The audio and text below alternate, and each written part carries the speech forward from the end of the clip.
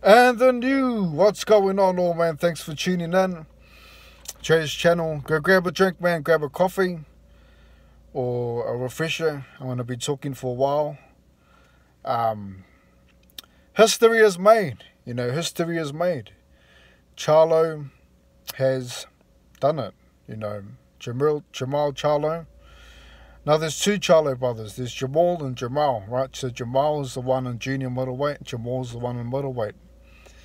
And Jamal's the one that done it. Okay. Both twin brothers, if you're not familiar with the Charlos. Um, he's made history, you know. He's made history without a doubt. You know, he done what he needed to do.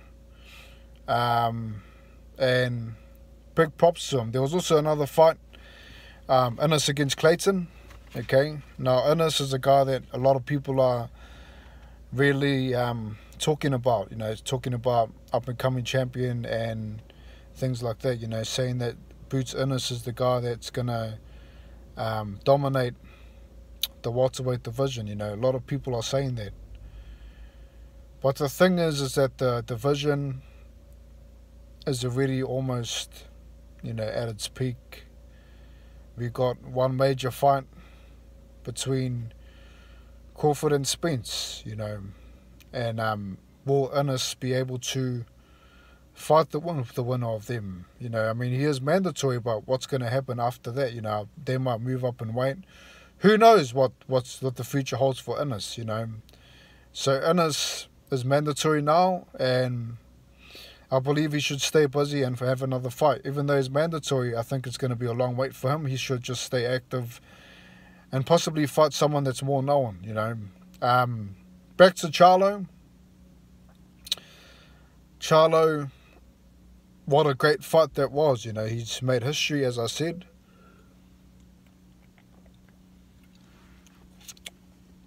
And straight after the fight, he says that he wants to go up to 160. I believe his brother Jamal wants to go to 168. So the route that they took that they're taking is that Jamal wants to fight Canelo, and I think Charlo wants to become undisputed in two classes, two weight classes. You know, um, at the moment Jamal isn't undisputed, but he wants to move up in weight, and he wants to um, fight Canelo.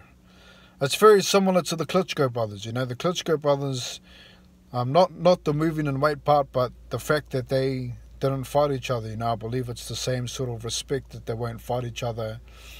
Um, but I'm glad that they're in different weight classes because the Klitschko brothers held up the heavyweight division for a long time. You know, for undisputed, we still haven't seen an undisputed champion for the last 20 years. You know, so I mean, Jam- Jamal, Jamal wants to go up to 168 and Jamal wants to go up to 160. Um, so, I mean, at 160, I think Jamal should fight Triple G, um, Golovkin. You know, he holds majority of the belts and, you know, he's a legend in the sport. A lot of people have has avoided Golovkin, and I believe he should go for him. If Golovkin doesn't want to fight him, then next to none should be Jaime Munguia, you know um, undefeated fighter. Um, but those are the two options for Jamal. For Jamal, he's going to have to wait for the Canelo Bivol rematch. You know, so I mean, I don't know what Jamal is going to do at 168. I'm not sure if he'll fight maybe um, Caleb Plant, or I'm not sure what the case will be with him. Regardless if Canelo's fighting, they both need to stay busy. Okay, now Jamal. Let's talk about that fight. Okay, Jamal came in there focused. You know, it was a rematch. The first fight, I believe, Castaño won, in my opinion. Even though Jamal came back strong in the end of the fight, um, I think Castaño won. The first fight, you know, it was a draw. I wasn't, you know, too phased about that. I understand how it works. You know, sometimes you don't get it right. Um, and sometimes it depends where you're fighting as well. So, I mean, Castaño came in with the same game plan as the first fight. Um, where Charlo changed it up a bit, you know. He um, used that left hook, you know, that that um, powerful left hook that he has, and he kept landing it. And even though he was on the back foot, you know, he was exchanging on the inside, you know, um, getting close to Castaño, but at the same time on the back foot, ready to move back and to circle out of the corner with the left hook, you know, which kept landing. By doing this, um, was unable to find his long range, you know, because Charlo's exchanging at mid range. You know, he's, he's going inside the pocket and they're exchanging and then he's moving back and, you know, he's using the jab now and then and then he's using the left hook to get out of danger, you could say, you know, to get away from the ropes. And it was effective, you know, the left hook kept landing over and over and over again. And the thing is, is that the left hook is the money shot for Charlo. You know, understand that. That last time he lost, he came back and he won with the knockout with the left, left hook. You know, the referee had to stop the fight. So, I mean, he knew that he had the power and the left hook. That's his money shot. And he kept landing it over and over and over to the point where Castaño started to fade out at the at the back end of the fight. You know, you could see it.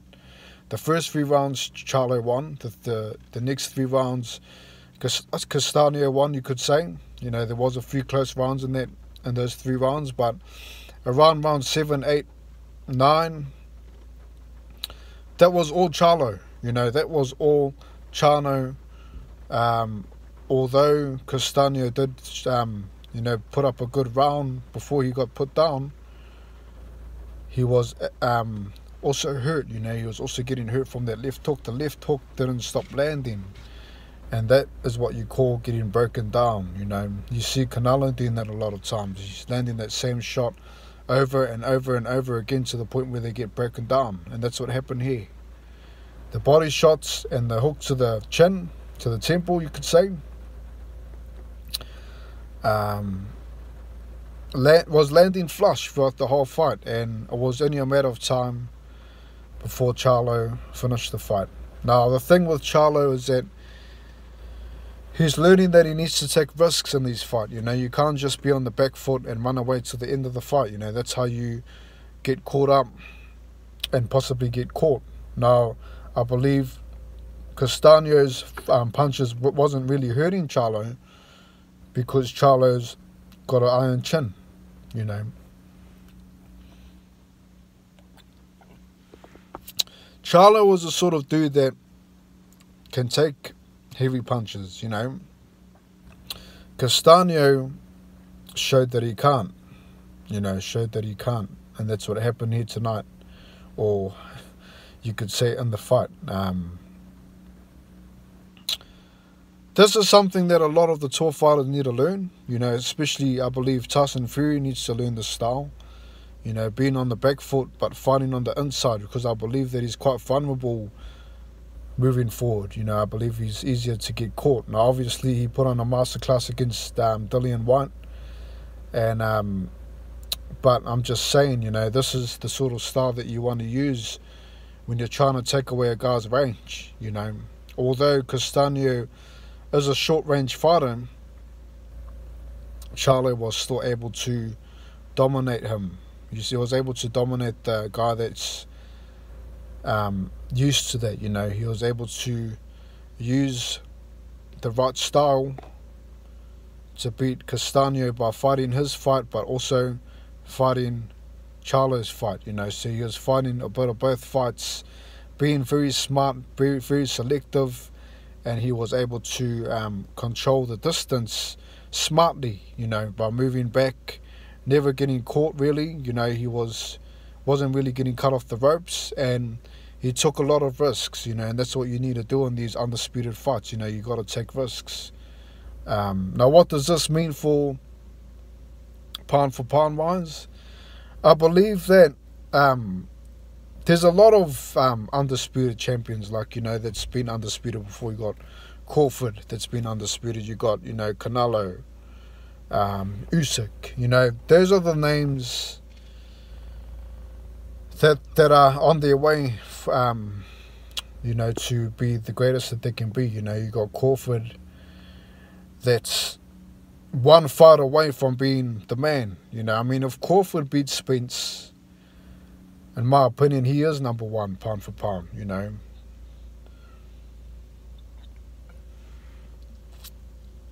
And with Canelo, he's got to fight Bivol. You know, I mean, if even if Jamal Charlo you know, manages to fight Canelo at 168 for undisputed, it might, it might be a bit of a wait. you know. Who knows if Canelo's going to fight Bivol at 168 or 175? You know, that's a big question. And I believe if he does fight him at 175, which I think that he should, then at least Charlo can have a go for the undisputed. You know, this is what it's all about now, guys. It's all about who has the the best wins, um, and you know who's the pound for pound king at the moment. Usyk is also in the in the mix. You know, Usyk is fighting AJ, then he's got to fight. He has to fight Fury next. You know, Fury needs to just snap out of this retirement talk and fight the winner of AJ versus Usyk. You know, um, but like I said, pound for pound wise, Crawford if he beats um, Spence, then he will be number one. And then keep in mind, he could also fight Josh Taylor. You know, Josh Taylor's also undisputed champion. And he could win that too, you know. So uh, this is all a competition to see who is the best in boxing, you know. This is what it's all about here. The Charlos are looking to take over, but you still got Crawford there, you still got Usyk there, and obviously you got the big money man, the the the um, you know, the man, the face of boxing they call him, Canelo um, which everybody wants to fight. Everybody wants to fight Canelo. Um, but keep in mind, you know, Usyk's fighting Joshua. He's also the cash cow, you know. So, I mean, there's Canelo and Joshua, right? Although Canelo does earn more, Joshua is still a very big name. You know, you'll get a lot of money fighting him. So, I mean, um, obviously the Charlo brothers won't won't make it to heavyweight. You know, I doubt that they will. They're in the 32 now, I believe, 31, 32.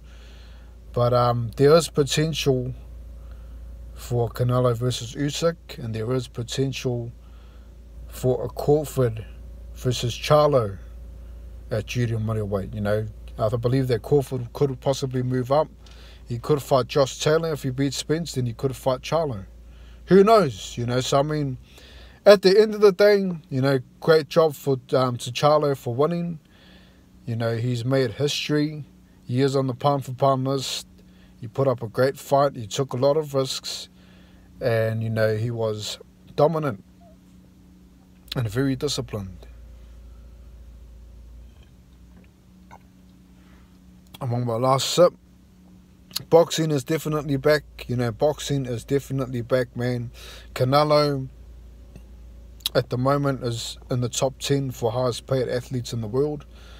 Um, and we're possibly going to see the biggest fight in boxing, which is Crawford versus Spence, regardless of the money. That's the biggest fight in boxing, okay? Crawford wins, he's number one pound for pound. And that's all I got to say, man. Congratulations to Charlo. It was a heck of a fight. Thanks for tuning in. Leave me leave your take. And um, like I said, you know, Charlo stepped up and done the business. You know, took the risks, landed that great left hook, man, throughout the whole fight, and his punch selection was great. You know, he was going to the body to slow down Castaño as well, and he managed to break him down with that left hook. You know, and finish him off in the tenth round. And that's all I need to say, man. It is the aftermath. Thanks for tuning in once again. Leave your take. And um, I look forward to hearing back from you, man. Peace. God bless. Have a good one.